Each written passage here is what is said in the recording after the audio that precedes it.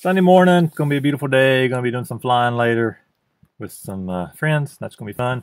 And so, recently, um, last couple videos you've seen, looked like the ground was really wet. Well, it was, and I ended up crashing. Well, not really crashing. I ended up landing, and the quad kind of. I landed on a little slope, and it rolled back right into water, top down, right where my GoPro is. So GoPro got sopping wet, but it was still running.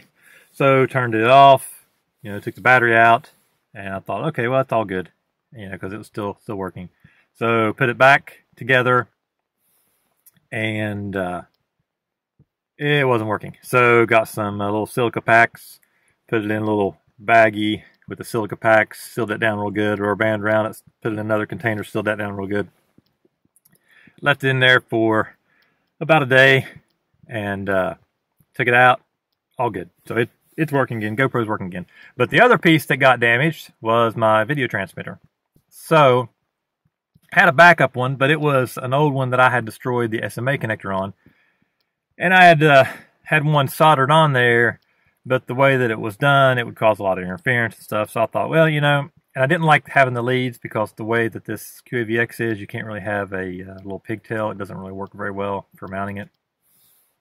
So you kind of need the SMA connector basically right there on the um, on the VTX. So I thought, well, this would be a good opportunity to try using a little whip antenna. I thought, ah, we'll see how that works. So put a whip antenna on there, soldered it directly to it. Tested that out the other day, and it was terrible. Um, it would be good for probably racing, you know, open area, you know, where you're going to be in fairly short distance from yourself, you know. Um, I think in that case, I think it would be fine.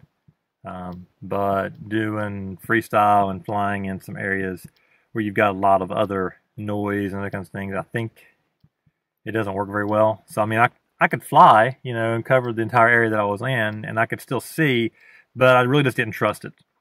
You know, it just didn't feel. It just felt like it was going to go out at any point.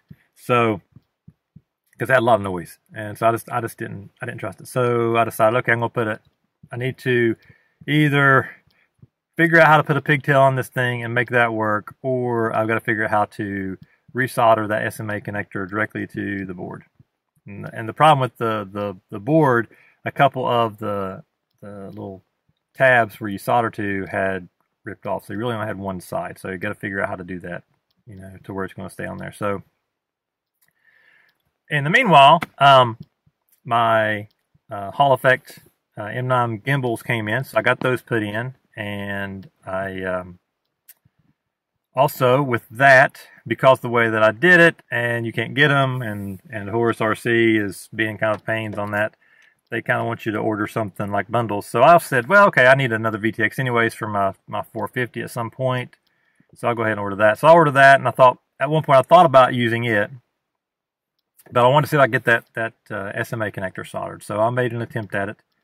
And that's what I just did just now. I was just testing, just make sure it was good because I'm going to go out flying later and I wanted to make sure everything was solid and that I uh, wasn't getting any interference. And it all looked good. So my solder job was okay, I guess. So we'll see. I don't know how it'll hold up in a hard crash. It may break back off again, but I think it'll hold up for now. And at some point, if I decide I may get another, I may probably order another VTX and just swap it out and keep this one as a spare, just, you know, in, in emergency cases.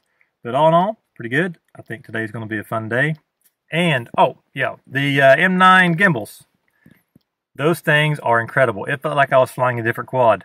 I mean, it was, they were, you know, I knew they felt smooth when I was just kind of moving around and they felt, you know, really smooth. Even my wife, who knows nothing about gimbals, who knew nothing about the reason that I got them, she's like, oh, is that new? And so I said, yeah, I said, said I got those to replace the other ones because I thought they'd be a little bit better and uh, they're supposed to be better. And uh, so she was sitting there messing with them, moving around stuff, and she, I said, and uh, she said, "Oh, you already changed them out." I said, "Yeah." And I said, "Here's the old one." So I handed her the old one, and she kind of moved it around, and then she went back to the other one. She goes, "Yeah, I like these new ones. They feel a whole lot smoother." So even someone who doesn't know anything about gimbals, doesn't know anything about what they should feel like or anything, could feel the difference. So come out here, did a quick flight to test the VTX, and also to kind of that was really my maiden for the uh, the gimbals as well. Um, Yeah, I mean, I tested hover testing and stuff, but that's not really a good test. So flying around, doing stuff, they feel so smooth. It it kind of felt like the quad was flying slower. You know, maybe it's because I was much more connected to it, and the gimbals feel a whole lot better that I feel more connected. It, I didn't feel like I was.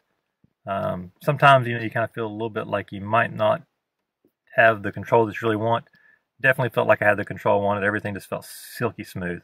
So if you can get those gimbals and you've got a Taranis, I highly recommend it. And when you get them, another lesson, recalibrate. Um, it'll save you a little bit of a headache if you don't.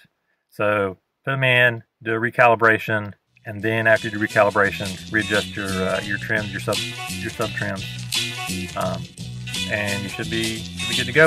All right, guys, you all have a great one, and never stop laughing.